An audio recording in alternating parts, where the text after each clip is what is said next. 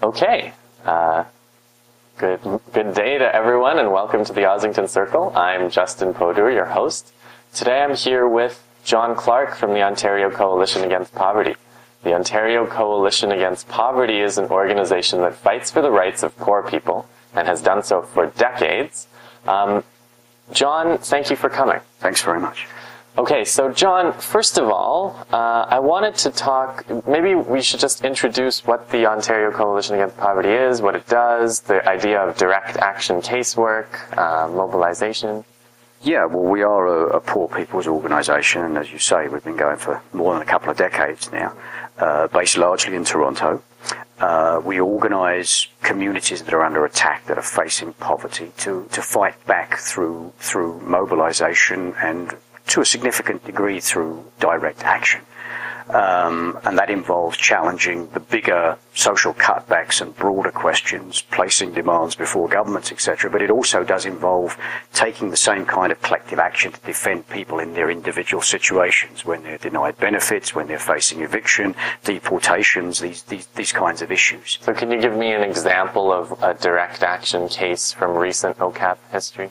Um, we recently for example, confronted a situation where um, someone uh, was living in a, a, bachelor apartment within a Toronto community housing unit. Um, he, he'd come here as, a, as an immigrant uh, recently. Uh, his family was able to join him uh, belatedly. There was no larger unit available, so the de- demand of Toronto Housing was that they um, that they uh, the the the, uh, the, the, mother the mother and the uh, and the child had to leave and had to stay in a homeless shelter. Um, we certainly agreed that staying in a, in a bachelor unit, a, a whole family, was not a viable long term solution. But uh, as a stopgap measure, it was infinitely better than the family being broken up. Um, uh, Toronto Housing wouldn't cooperate with this, so we brought a mass delegation to their head office, suitably located in Rosedale, and uh, and challenged them. And uh, and while the immediate response was a line of cops and a refusal to negotiate, the public pressure that was placed on them forced them to uh, to relent and, and, and deal with the situation. And I, have always thought of OCAP as an example against the idea that these things are, are hopeless. Actually, OCAP's direct actions have a high success rate, don't they? Yeah, a very high success rate, yeah, precisely because bureaucracies can't withstand disruption. By definition, they need acquiescence. So when you refuse to deliver that, you have some power in your hands. And, and so it's, it's, it's almost an, an answer to the idea that you can I mean, what would you say to people who say, you know, if you stay quiet and play by the rules and, and, and follow procedures, um, you can get better results than trying to do this disruptive stuff? Well, I, I would say that any serious examination of the historical record or the present reality demonstrates pretty pretty successfully that as long as poor people are quiet, they can suffer all they want. It's, it's at periods when poor people are restive, when they're challenging, when they're mobilizing, when they're fighting back, when they present a problem for those in authority, that, that some level of concessions can be won. Uh, and I, I, think, you know, the work of OCAP just, just verifies, confirms what we already knew. I, I wanted to talk to you about I mean, here's OCAP working with poor people, um, fighting back, you know, on the ground, and uh, and then on the on the surface, as as someone who's watching the media, I'm watching these scandals take place in city politics and in federal politics, and it seems very disconnected to me. Um, like this thing that happened with Rob Ford, this crack video. This was in a, a poor community that I think OCAP has some connection to. Is that right? That's certainly true. Yeah, yeah, absolutely.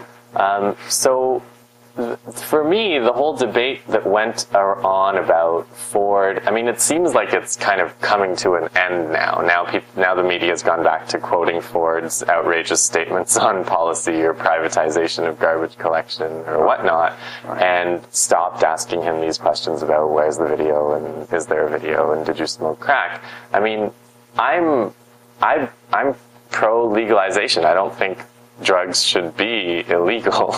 Yeah. Um, and so I don't even I don't even follow that that scandal very very much.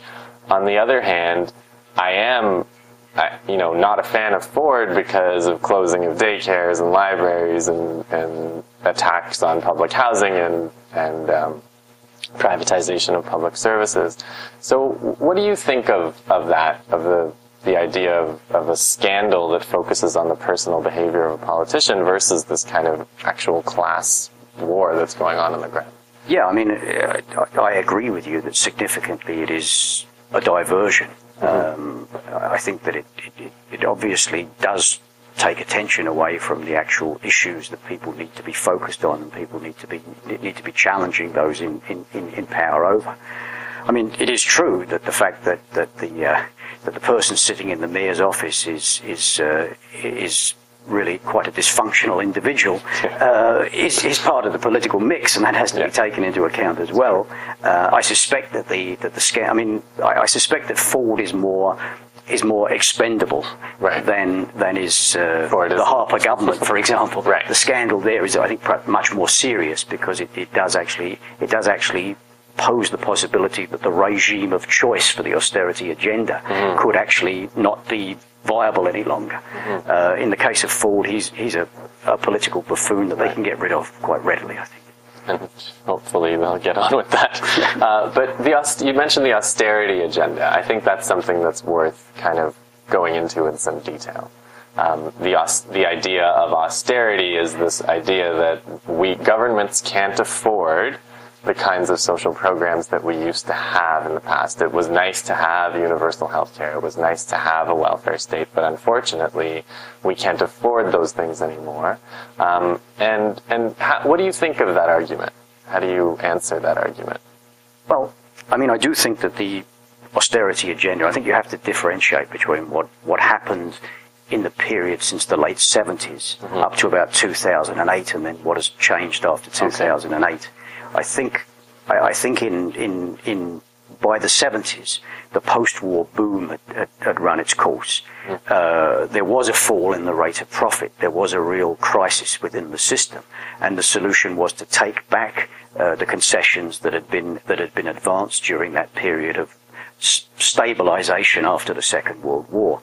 So I, I, think those who just see it as a mean-spirited agenda are making a mistake. It, is, it does actually reflect an actual crisis within the system itself. Um, and, and, since 2008, it, it, has it has metamorphosized again, based on uh, based on the crisis that emerged, into a kind of a hyper austerity. Um, so it is it is actually it is actually based on the needs of the system in that sense. It's not just that somebody in a boardroom has made some mean-spirited choices. Right. Um, but of course, it's an entirely selective logic mm-hmm. uh, because it, it operates. Obviously, they can't come out and say we're doing the, this in the interest of a tiny percentage of the population. Uh, they have to maintain this fiction that they're doing it in the interests of everyone. Right. So they justify it as we must get the debt under control, we, which, which I find it quite incredible that they can do that after they've so recently poured trillions of dollars into, into banks and, and, and failed corporations. But I suppose if you run the means of disseminating information, you can pretty well say what you like. Yeah. Um, but no, I mean, it, it is an attempt to impose the burden of the crisis on the backs of on the backs of most people and it's it's having the most profound effect internationally. And I, I, think that we're only seeing, the, in fact, the opening stages of this agenda. I mean, back when the G20 was meeting, which is only like three years ago, the IMF had recently said that they wanted to see 20 years of austerity. And, and so we're only in the opening stages, and it's becoming more and more and more pronounced. And, and its ramifications are, are many. Yeah, I mean, I was, I was in India for the past four months, and there's this hyper drive for mining, for example, in central India, where they're desperately trying to suck out the maximum amount of iron ore and aluminum yeah. from these territories and displacing these people. Um, how does it play out in, in the wealthier countries? What does it look like here? I think it has two main uh, two main fronts. One is an attack on social entitlement, because there is a level of social infrastructure in the historically privileged countries, and they're looking to, to take that away. Uh, and, and at the same time, and, and, linked to it, is an attack on trade unions, mm-hmm. on the strength of trade unions and the viability of trade unions. And of course, the two agendas or the two parts of the agenda work to complement each other. because to the extent to which you take away things like pensions and income support systems and the social wage generally, you weaken the bargaining power of working people vis-a-vis their employer and facilitate the process of union busting. And you've had an, a kind of an, a position uh, relative to the union movement in, in North America, in Canada, in Ontario, uh, and made a specific argument that's that's trying to say if you fought more like we fight, you would get better results than you're getting. Is that an accurate summary? Um, yes, I mean, yes, I mean it's an approximation, but it's paraphrasing a bit. So, how, how how much success have you had with that argument? How, who's taken it up? Where what have the replies been? Well, I mean, there is emerging, I think, within the unions, um, an increased readiness to uh, an increased readiness to fight back. Uh, to some degree, that's decisions being made by union structures themselves, and to a significant degree, it's pressure coming from um, from rank and file activists who are looking to uh, are looking to push forward. But there's no question that the trade unions embody a, a, a real a real crisis mm-hmm. um, because they the whole sort of relationship between unions and the state and the employers was emerged in the post-war years in, in a period of, of compromise. And so there was really an unspoken deal whereby incremental improvements would be provided to, to, to workers and their families and the broader working class population in return for um, ensuring that the struggle didn't become too explosive and too generalized. So unions played the dual role of brokering concessions, but at the same time maintaining peace or at least keeping the struggle within certain boundaries. Uh, the difficulty we've had over a long period of time is that the other side has in fact revoked the deal, and unions continue to play by the by the rules of a dead deal. Now, up until 2008, that translated into an incremental process of taking away past gains. But I think in the context of hyper austerity, continuing with that, that way of doing things is, is pointing in the direction of catastrophic defeats. Mm-hmm. Um, so there is a real crisis within the unions. There is a need to actually break out of the model of so-called labour relations that's been imposed on workers and actually and actually engage in much more explosive and generalised forms of resistance. And um, what do you? Are there any any signs of that on the horizon? Um, well, I mean, one of the things, well, I think one of the things about this period is that there are there are there are no there are, there are seldom yeah. signs in yeah. the sense yeah. that in the sense that things emerge that are, are totally unexpected. Right. Um, well, I, I, but l- let me let me ask you a, a, a different question because I, I, also, you know, you mentioned the G20 and I think of this, you know, you, you used, you just used words like we need more explosive forms of resistance. Um, and that leads to an inevitable question, especially for people who are, uh, you know, radicals who believe that the, the fundament, the system is fundamentally flawed and needs to be replaced.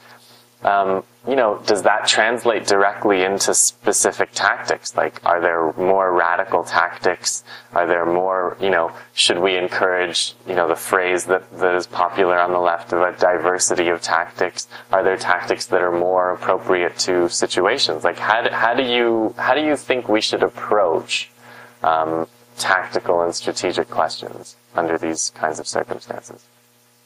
Well, I think I mean, I think that what we need to do is actually is actually win um, within our movements, and, mm. and, at the same time increase the size of those movements uh, to win people to a perspective that. I mean, tactics can be varied, and tactics can adapt and, and change, but the fundamental orientation I think we have to have is that we have to realize that the notion of protest, even the word protest, has its limitations. Yeah. Uh, the notion of that, that we're going to be able to make a moral case to those in power of one form or another, or even a so-called show of strength, where just by virtue of the fact we can get a lot of people together, that that is going to somehow is going to somehow convince those in power that the austerity agenda is a mistake and that we need to go back to the, the golden age of Keynesianism. Uh, that's not a viable solution.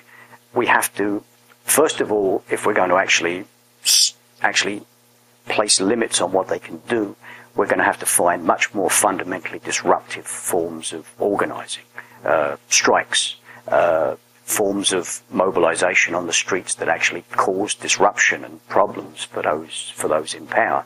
And I, I, do think as well that that has to be linked to a realization that this is an actual crisis of a system, and that social transformation has to be the goal of movements as well. It isn't just that we can be militant enough to make capitalism kind. Right. And that's that's what I was thinking because.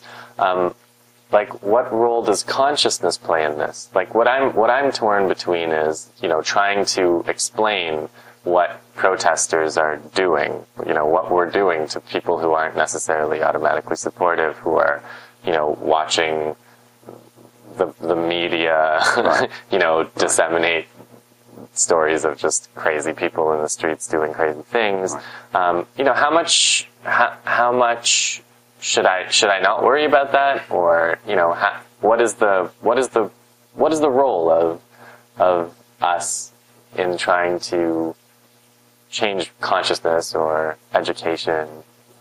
Honestly, I think that we're in a period now when when people who have an established radical perspective can find themselves overtaken by people who a few weeks before hadn't even thought about politics. Mm. You know, I mean, that's that's good. That's potentially good news. No, it is potentially good Since news. there's I mean, like twelve of us with established radical, no, not twelve. no, no, but it's. I mean, I mean, I mean, we're having this conversation at a particularly remarkable time. And if you think of, uh, I mean, people have been fighting in Greece for a while, but I mean, yeah. in, in, in, in Turkey, um, in Brazil, yeah. uh, what's now unfolding today and tomorrow in, in Egypt, mm-hmm. I mean, is an indication of the fact that, that, that these are incredibly explosive times. Yeah. And people have come out, if you take the case of Brazil, I mean, people, it was a place that was seen as very much controlled. They, yeah. you know, they, they seem to have the problems under control, uh, relatively, uh, a relatively uh, compromising kind of a regime in power soccer with soccer fans, soccer, soccer fans, and, and, and it's it's just it's just fallen apart in a way that's incredible. Now that means that there's been people coming onto the streets who had no background, no experience, who never thought that they would be doing this kind of stuff, being incredibly militant and taking these kinds of stands and, and, and being showing incredible courage in the face of you know quite brutal police conduct and all the rest of it. The initial stuff that unfolded in in, in cities around uh, around the transportation issue. I mean, people were being fired at with rubber bullets and, and subjected to all kinds of brutality and were standing their ground. And that's before it took on a really, really mass character. Well, I have a friend in in Brazil, in Sao Paulo, and he wrote a report to some of his activist friends in different parts of the world, and he um, he said that one thing people don't realize is this this outburst or outbreak this uprising. uh, I'm having trouble finding the word, but this particular mass protest that's been happening was preceded by about a year of uh, strikes, yes, yes. in which like several, close to two million people were on strike, including the transportation workers and yes. other sectors, and something like 75% of those strikes were successful. Yeah. So there's this whole background of successful mobilization. Um, where people were doing the kinds of things that you know resistance, like you were saying, yeah. And uh, so it didn't come out of begging and p- pleading and petitioning and, and, things like that and trying to work within the system. No, it no. came from trying to say we have to confront this. No, absolutely, absolutely. But but I think at this stage, I mean, we're seeing. I mean, the last months have seen some. Have seen a real leap in terms of, of, of mobilisation, but the mobilisations uh, contain are, are primarily primarily very positive mobilizations, but you can also see their weaknesses. First of all, you can see that you can see uh, you can see people's illusions and people's limitations, um, and you can certainly see as well even quite reactionary elements trying to vying for control and leadership within these. these within and outside, like in Brazil, the organized right wing is yes. starting to mobilize. Yes. They've had paramilitaries in the countryside for decades. The the Greek uh, kind of fascist mobilization. Yes. So there's a it's a kind of a chaotic situation. No, it, it is. It is. Which which which sort of comes back to the point we were we were sort of grappling with is of the, the role of the role of consciousness. Right. Like the like we're not going to stop. As powerful as these things have been, they're they're pretty well surviving them at this point. Mm-hmm. Uh, they may be making some limited tactical concessions, but they're getting control of the situation. They're maintaining. Wouldn't say they're maintaining peace, but they're maintaining order. Uh, they're maintaining some kind of, of order through uh, through a combination of repression and, uh, and, and, and limited concessions. So there is a real need for like very serious. I don't think didactic and elitist, but mm-hmm. but political interventions within those movements that actually actually advance ideas and directions and, and goals and try to actually to try to actually give this anti-austerity upsurge some some political form and direction. I think that's needed.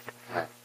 And that's hard in in Brazil because the Workers' Party says, "Well, just join us if yeah. have a mm-hmm. problem." And here we have a similar kind of situation in the sense, like the NDP would say, why don't you just join us? Or the unions would say, you know, we need people within to push these arguments. So where do, what do you think, what do you think of that? Well, I mean, we do have, I mean, we do start from a very low level. There isn't, I mean, we are, we're dealing with, if you take, if you take the period, for example, of the Great Depression, the 30s, um, there was a capacity for political intervention that was much greater than, than, than exists today.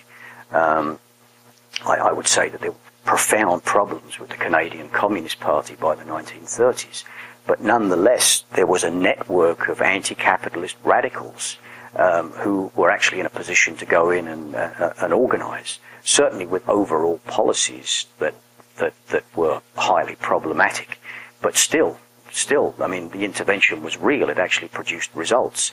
Uh, we don't have a corresponding structure today. Um, and, and it's true that the, the, the, um, the role of misleadership within the movement is much more refined and developed than it was in, in that period, and those are problems. But on the other hand, I, I think probably the, the, the, crisis is more uh, insoluble and, and, taking place at a higher level than it was in the 1930s. Wow. So I think, I think we have possibilities opening up for us that are incredibly exciting. I've um, I've recently read a piece by a guy named Luke Elliott, activist in Boston, and he talks about a case in Vermont where they people started really small and and and managed to win some real gains, like a Canadian style healthcare system on the state level. And he said, you know, electoral electoral work on the left has to be local forget about the presidential election, forget about these things. Like, think about places where you have a chance and build up from there. And, you know, I, I we started with um, OCAP, we talked a bit about big picture kinds of things.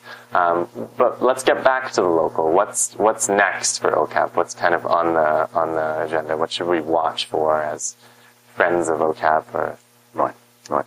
Well, here in the city, um, actually, it's been really quite an exciting period for us because the last couple of years has really seen uh, has really seen the base of people that we have really being significantly renewed, and our capacity to mobilise, I don't think, has become larger in the sense that our that we're pulling out more people to individual events, but what we're actually seeing is um, a capacity to engage in ex- extended campaigns that we couldn't that we couldn't have done even a couple of years ago. So that, for example, when the uh, the city announced that they were going to close one particular homeless shelter in the downtown east, which is where our main base is, uh, the uh, the schoolhouse shelter, um, we were able to respond with a sort of an escalating mobilization campaign that that actually that actually won. Um, it wasn't just a question of you know uh, we announced that we were going to occupy the, the shelter, mm-hmm. um, and uh, and we were very serious about that. It turned out we didn't have to because because we won the thing. And but there was a vote in city council, was there? There was a there was actually a there was actually a decision made, yeah, by the uh, by the there was a decision made by the uh, by the bureaucracy. Okay. But, so it uh, wasn't. But, so what was the vote in city council that was forty to one? Oh yes, yes. That was around. Uh, that was actually around shelter capacity. Okay. So, and that was that was a that was the next and, and bigger example of, okay. of what I'm talking about is that we we start by the uh, by this this past winter, we start to become aware of the fact that the, that the pressure on the homeless shelter system has become completely different to what it's been for a number of years, absolutely at crisis levels. Um, an official shelter capacity was standing at 96%, which is a, a massive situation of inhuman overcrowding on a scale that's that's unbelievable. With some categories of, of shelters, uh, uh, women's shelters, co-ed, um, certainly any, any, anywhere that caters for people with disabilities, running at 100%. Uh, and in fact, the 90% figure was very dubious. But, but even at 96%, I mean, you can imagine if the Royal York Hotel was at 96% capacity, it's just yeah. not a viable situation. Now, the Ford administration and Ford personally and his brother really took the position that 96% is fine. There's no, there's no problem. That's, that's right. just great. We can't have empty beds. It's a, as uh, the deputy mayor put it, a luxury we can't afford. Right. So, uh, so this this is forcing people onto the streets. The homeless memorial is now calculating a spike in homeless deaths, uh, and and and the level of overcrowding leads to the kinds of incidents that occurred at Seaton House, where a man got his head beaten in with a fire extinguisher. I mean, just horrible, horrible situation. So we begin campaigning on it, and and what we find again is that first of all we have a sort of a, a periphery of allies coming around that we that we didn't have before, that we couldn't really mobilise in the same way. But within the homeless population, a sustained, ongoing campaign capacity so we're able to organise two major actions, both being the establishment of, of, as we describe them, homeless shelters, one at the outside the mayor's office and one at Metro Hall, that led to about 60 arrests. But we still were maintaining that capacity to mobilise. And in the face of that, the bureaucracy had to recognise that in fact the position they'd been taken all along that there was no problem was just not viable. Uh, an opinion survey actually came out showing that we had massive public support on our side around what we were saying, and and even uh, and even 48% of people uh, registering support for occupying the mayor's office. Amazing. You know, so uh, right. and in fact, 54% of people who make forty thousand dollars a year or less. So so we had like huge, huge support. If yeah. there'd been a plebiscite, Ford would have lost and OCAP would have won. That was the, that was that was, that was OCAP for mayor. OCAP for mayor. so uh, and so that led to a situation where they've had to actually reduce the official level of shelter capacity to 90%, which is highly, highly significant. Yeah. Now, it's still there's still a big problem, right? Because their solution has been to cram more beds into overcrowded shelters. A new shelter will, in fact, be opening in the autumn. Their real estate people are working out where it's going to be and all this right. kind of stuff, which will be a significant victory. But we're trying to get through the summer now, where there's heat alerts. Yeah. They're cramming people into places with no air conditioning. So there's going to be more struggles throughout the summer, that's for sure. So you were you were um, you were just talking about the increased capacity to mobilize. Any final thoughts on that? Um, yeah, and we've seen it too at the provincial level. Um, okay. Around last year, the government announced the elimination of this vital social benefit for people on social assistance, the community startup and maintenance benefit. And uh, we've fashioned an alliance, particularly with CUPE Ontario and, and a range of local anti-poverty organisations that we work with in different cities. And so we were able to mobilise a really sustained and effective campaign. We also made links with uh, First Nations communities on the north shore of Lake Huron who played a really pivotal role in the, in, in the whole thing. And were able to organise a whole series of actions that culminated in a week of action in uh, December. Uh, mobilisations, some 35 different mobilisations in close to 20 communities, including First Nations people and, and allies from the Sudbury Coalition Against Poverty, um, shutting down the Trans Canada Highway. Um, and it led to a situation where the government had to restore $42 million worth of the, uh, of, of the cuts that they were going to impose. So, I mean, we're actually now really beginning to emerge as a force that's not just registering an opposition, but it's actually posing a problem for the implementation of the austerity agenda. And proving that you can be successful in opposing this agenda. You, you certainly can. I mean, I, I, I, think it needs to be stressed that, I mean, it's, it's true Turkey, Brazil, Yeah. uh, and, and on the much more modest scale that we're doing things, uh, it's true that victories are possible, but it's also true that victories are extremely fragile, Right. and that whatever you win is is is is, is not established. It's a it's a it's a it's a respite along the way, uh, something you, but it's something you can build upon. I mean, I mean, we're never going to build a movement. I, I remember having a, a theory with some uh, discussion with some hopeless sectarian a number of years ago who was arguing that the, the crisis of capitalism meant that victories were completely impossible. Oh, That, okay. that, that therefore, therefore, what had to happen is we had to go through the motions of challenging things we couldn't stop until people finally came to the realization you had to overthrow the system. Which Right. I think is a, a preposterous way of, uh, of, of So of at nothing, nothing, nothing, nothing, and then Yeah. sudden overthrow. This. Yes, yeah. it's it's all been useless fighting back. So why don't we? Why don't we? I mean, it's it's it's just a ridiculous notion. Right. I mean, in fact, in fact, the in fact that's the whole point. That's that's what it, what a, a movement emerges out of is if you have a system that needs to do these things and can't do these things Yeah. because it's being stopped by a movement. That's the basis on which real change can happen. Yeah, and then people say, we can do this, this is possible, we can do more, we can, Exactly. see what exactly. we do. Um, so, thank you very much. Thank you so much, Justin. I, I, I do want to promote a book. Um, we, uh, we were talking about things that were possible and things that are unthinkable, and uh, my friend Stan Cox has a book called Any Way You Slice It. Any Way You Slice It is a book about rationing. So he talks about rationing. He says that rationing is something we do in our society based on ability to pay, which is the market. But in fact, if you look at societies in different parts of the world, India, Egypt, um, they ration food, they ration water. This is something that can be done.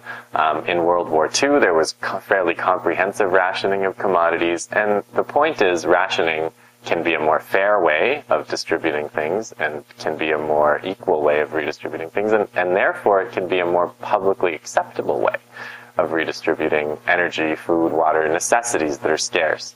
So Cox looks at this in the context of the environmental crisis and he says, what if we were to ration energy?